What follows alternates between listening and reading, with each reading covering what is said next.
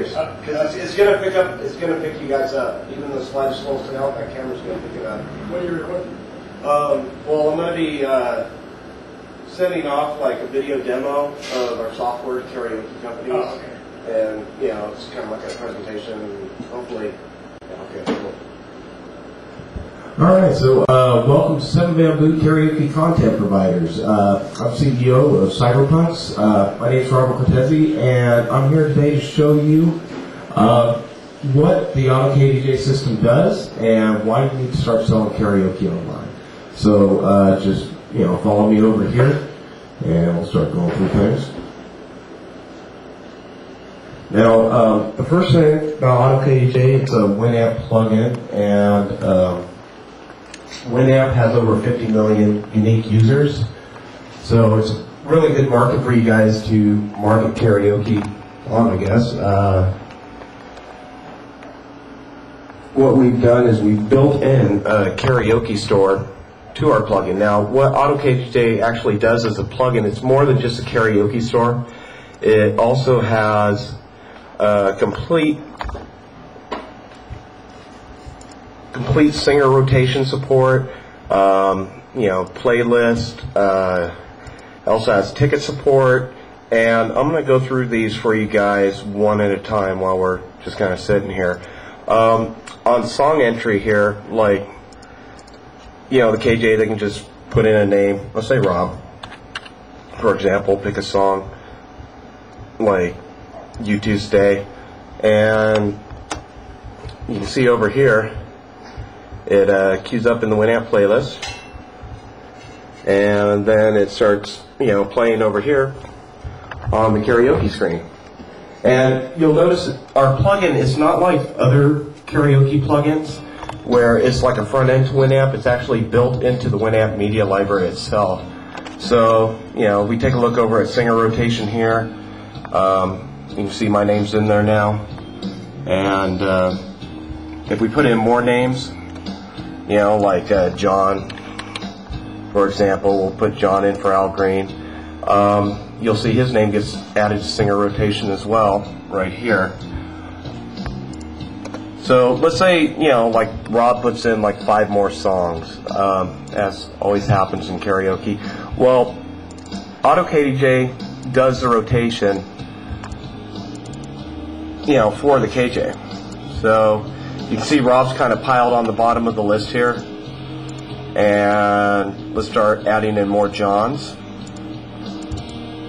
And you can see it gets interleaved, just like it would if a human was actually running the rotation. So that's kind of our hook. Now, what we're doing right now, as far as the online karaoke is concerned, is we're getting our content provided to us through Tricerasoft.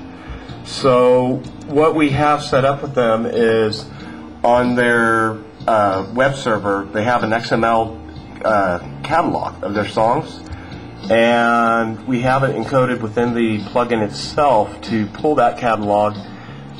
And right now, it's downloading it directly from Tricerasoft. Now, this could be more than Tricerasoft. This could be your company here that is doing this for. So give it a few minutes.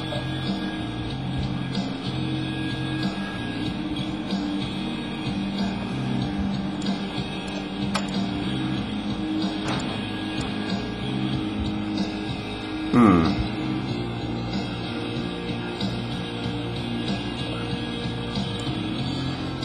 And from what I understand, Tricerasoft just updated a bunch of songs, so let's actually give that. So we go here, and let's go ahead and try that one more time. Uh, while that's downloading the list, I'm going to go back over here and I'm going to show you some of the other features of AutoKDJ. Um, AutoKDJ is web-based, meaning that um, the end users, like for our rotation screens, what we did here was we just took an old laptop, kind of ripped it apart, and it has a wireless card on it, and it just boots up and loads the AutoKDJ has a web server built in. So this laptop here connects wirelessly, pulls the web page that shows the singer rotations, and then our singers go here and you know they can see when they're coming up. Um, the third component in the system is the front end. And I'm going to bring this over here and show you this right now. Let's see. Where is. I'm not seeing extra tickets here, so let's let's do this. Toshi, let me have one ticket. One ticket. At Bamboo, they charge a dollar a song for tickets. So, you know, right now I'd be a customer and I would be purchasing a ticket off Toshi for one dollar. Thank you, Toshi. And this is our front end machine we have set up over here. Now, our front end is designed to run on a really low end computer. In this case, this is a Pentium 333 megahertz and with a built-in touchscreen, and that's it. This is a panel PC.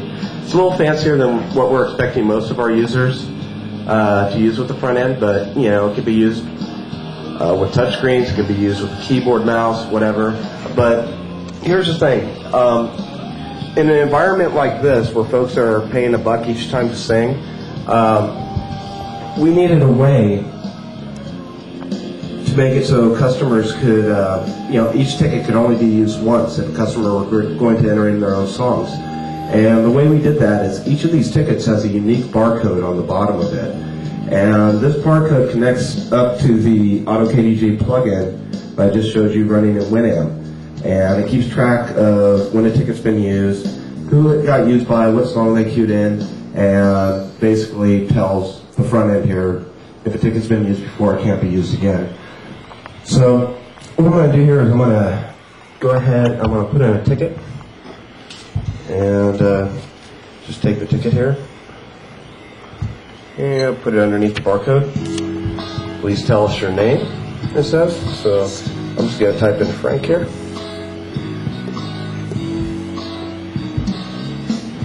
Hit next. And uh, the customer is actually uh, with a few things here.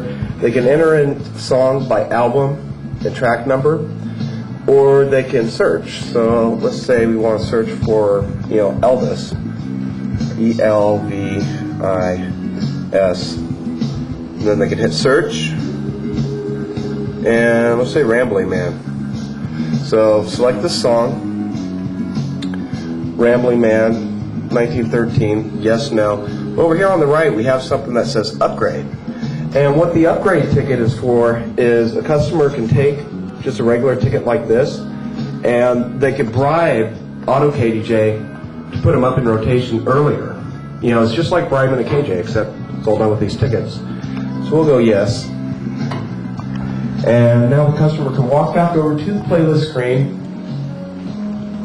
and as soon as we get a refresh, we're going to be seeing Frank in there. Let's see here. Wait for a refresh. Should refresh in about 30 seconds here. Yep. So we can see Frank's, he's at the bottom of rotation here. And then the other page refresh. And Frank, because he's a new singer, um, he gets to go next. But next round of rotation, he's going to, normal rotation rules are going to apply.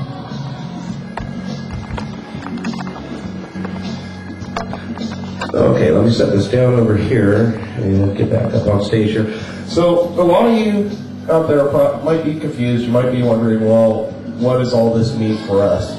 Well, basically, what we want to set up is make it so that customers can use the front end machine over here right?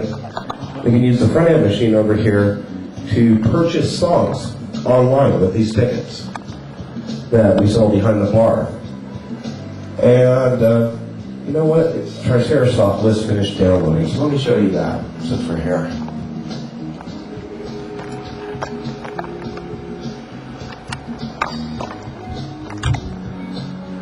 All right, so let's go here. And okay, you can see here. Um, you know, this is a Tricerasoft catalog, and KJ can search by name, Elvis, or they can search by song, like Hound Dog. Hound Dog pops up, and there's a price on it. And when they double click on it, what this will do is it'll open up a PayPal page. And we gotta wait for that PayPal page to open up. Giddy up, horsey. There we go.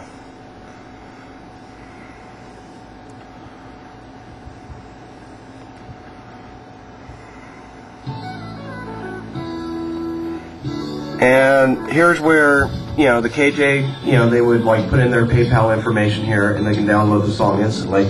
Well, what we want to do is set it up where Auto KJ on the Winamp, you know, the whole server end, that's going to contain the KJ's uh, or the venue owner's, you know, credit card info or PayPal info and stuff like that. So if a customer goes up to the front end and we don't have a song, it'll suggest a song from the online library. They say, you know, and they'll say, okay, scan three more tickets and you can download and sing the song. Um, well, this is very important for you guys because what this will do is it's going to put KJs in a funny position, especially the ones that are pirating. Um, you know, you will have your KJs like us running things legitimate, offering this type of service to their customers. And if we got a lot more content providers online, uh, we would be able to give our customers access to every song out there in your library, in other customers' library, um, all over. And the position that's going to put the pirates in is, well, gee, am I going to keep pirating and not have access to all this content when I need it? You know, easy access. Because right now, if you're a pirate, you got to go through news groups, you got to go through LimeWire, and it's a, kind of a sketchy thing to have your computer online during a show. But this, you know, you're not connecting to any P2P network, so it's just like, hey, right there. Know, so to a pirate, like let's say a pirate pirates 40,000 songs. Well, is it going to make more sense for them to have 40,000 songs or to have like no songs in their library and have a chance of adding like two, three dollar markup per song and possibly making like two or three dollars for those 40,000 songs? That's like $80,000. Me, I'm not a stupid man. If I have a chance to resell karaoke, you know, and make $80,000 versus pirating it and getting nothing, well, guess which way I'm going to go? And I know a lot of other KJs out there are going to go down the same route. So, yeah, that's it for my presentation. I know um, a few of you guys I met at NAM were asking for me to go ahead and whip up some kind of video for you guys, so here you go.